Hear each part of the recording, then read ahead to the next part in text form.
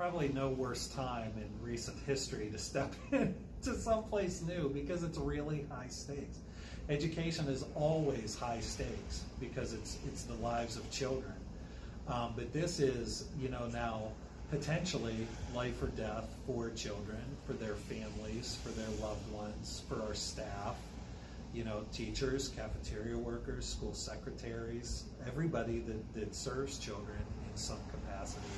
So it's a really sobering moment to be making a change.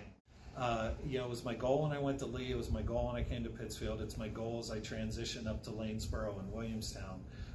Um, you know, that first year, I know there's there's stuff that has to be done.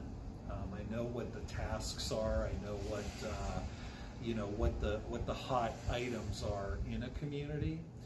But my primary goal is that I'm going in as kind of a stranger a place that has a lot of expertise about who and what the district is and who and what the mm-hmm. district wants to be. So my first goal is always get to know the district, get to know the people who comprise the district, both within the school system and outside of the school system, and just appreciate and soak up the expertise that people bring to the table with them that I don't because I'm new to those communities.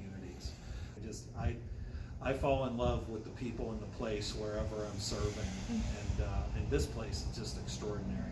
You know, I, I leave feeling guilty, but knowing that there's somebody that in every way is uh, my equal or much better from from being a dad to being a school leader, uh, stepping in, and then I you know also leave with just this incredible team of people who were here before I got here doing amazing work, who will be here after I leave doing amazing work. That to me is the real has been the real gift of Pittsfield is is you know Pittsfield for the school committee the people that run are people that are dedicated to the right things to making lives of kids better and making the, the whole community better through public education at the end of the day if there's not deep humility and humanity in every decision we make then we've somehow fallen short um, of the of the moral and ethical expectations that that all leaders should have